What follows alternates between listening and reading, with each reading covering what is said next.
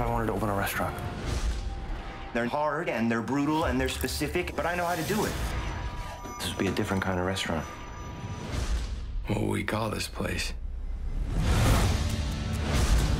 What's this? So non-negotiables. That's how restaurants at the highest level operate. Push boundaries. Constantly evolve through creativity. Vibrant collaboration. That's demented. These are non negotiables. I can sense the sarcasm. No, no, no. Not sarcasm. Snark. Contempt, even.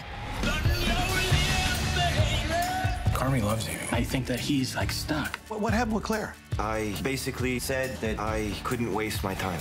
Yikes.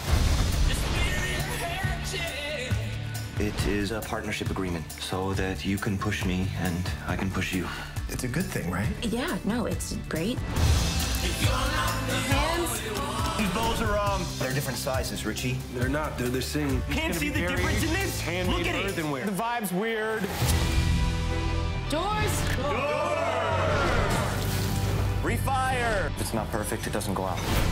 No, no, no, I hate this. Richie, no surprise! Yes, surprise!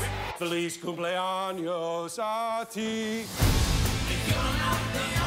And what's with the menu change? Every day? These are the scribblings of a madman. They are non-negotiables.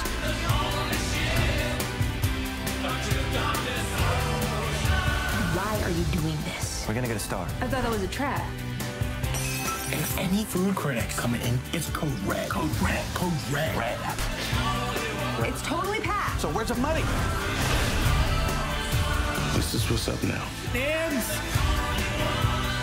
They're going too slow. You need to calm down. This is what you wanted, right? What's going on tonight? Have you been here before?